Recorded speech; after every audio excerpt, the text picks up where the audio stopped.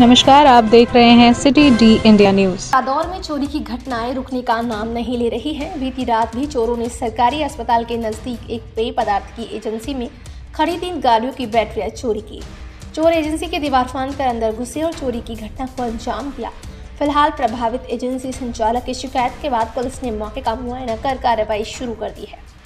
प्रभावित एजेंसी संचालक अंकित गुप्ता ने बताया कि चोर दीवार फांद कर अंदर घुसे और यहाँ खड़ी तीन गाड़ियों की बैटरी व अन्य सामान चोरी किया।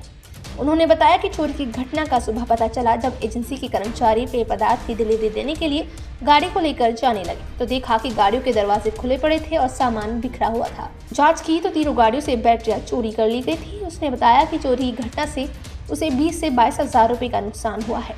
रादौर में आए दिन चोरी की घटनाएँ बढ़ रही हैं, लेकिन पुलिस अब तक चोर गिरोह को काबू करने में नाकामयाब रही है। जिसके चलते चोर गिरोह के हौसले बढ़ते जा रहे हैं। भैया तीनों गाड़ियों की बैटरियाँ उतारी हैं और वॉशरूम वगैरह से टुंटियाँ वगैरह जो भी थी वो खोल के ले गए हैं। अभी तो यही नज़र में आया है। बाकी देखो जी। कितने का नुकसान है आपका? लगभग बीस बाईस हज़ार रुपये का नुकसान है जी। हम्म, पता कैसे लगा आपको? जब सुबह ड्राइवर गाड़ी निकालने के लिए आया तो उसने देखा कि सारा सामान गाड़ी के अंदर जो रखा था वो नीचे गिरा हुआ है। हम्म, डोर ओपन था गाड़ी की खिड़की खुली पड़ी थी और गाड़ी में बैटरी थी नहीं। तो कितनी गाड़ियाँ थी कितनी में गाड़ियाँ? तीनों तीन गाड़ियाँ हैं भैया। हम्म, तीनों गाड़ियों की बैटरी नहीं है। पुलिस को कर दिया